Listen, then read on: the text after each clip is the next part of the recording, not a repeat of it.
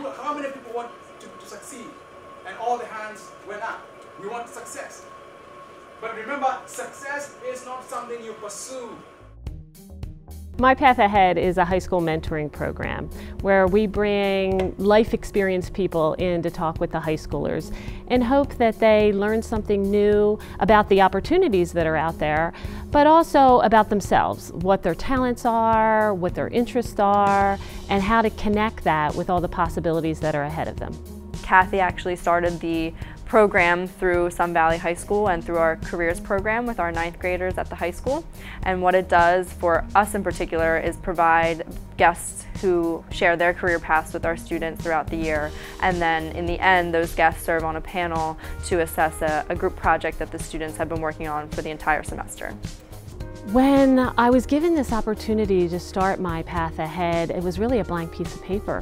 And what am I going to do? And I thought of my high school. I graduated from Sun Valley and I went to talk to the administration and said, hey, would you like to partner on this pilot opportunity and build an evidence-based program that then other schools throughout Delaware County and throughout the nation can use?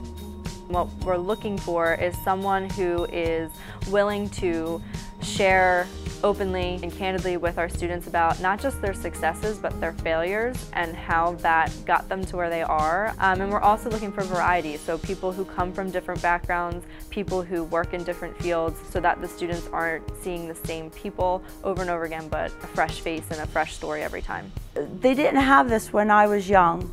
I feel honored to be able to do this because uh, there are people in my life that impacted me that may have said one thing that stuck with me through life, that may have gotten me through a tough time or given me some self-confidence. And if I can do that, even just for one kid, I think it's a beneficial thing. It's, it's a great foundation to help bring people from all different walks of life. Our hope with My Path Ahead is to build an evidence-based model of a student-first approach to post-graduation planning, starting with ninth grade with 100% participation and then moving up throughout the grades, continuing to engage them in thought about the future.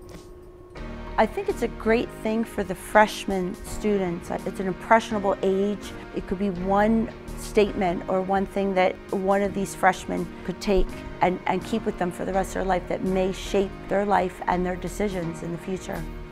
It's always awesome to see one guest impact one student one day and then the next day impact a different student and to see the different personalities that come out when you have someone new and fresh in the classroom. I think this benefits us because it is pretty early, but it's never too early to start planning for your future because I know that there's a lot of places that will help me go to college and there's a lot of things that I can do that will help support me. I grew up in Brookhaven and I went to Sun Valley and I was a graduate and one of the things I value most about that background is the sense of community. And community is where people contribute to each other, they feel great about each other, they help each other. And throughout my career, I noticed that the people that were able to do that the most and did that most naturally were the people that felt good about themselves and felt good about what they were doing and felt good about how they were contributing, that they were naturally happy for their neighbor and their friend and wanted to see them succeed. So my belief is we, if we help high schoolers believe in themselves and have self-respect, it's going to trickle out to their whole circle, their whole network, into their future. As far as if you feel good about yourself, if you have a strong self-esteem, you are respectful of other people, you're helpful of other people, and that natural sense of community just becomes innate within you.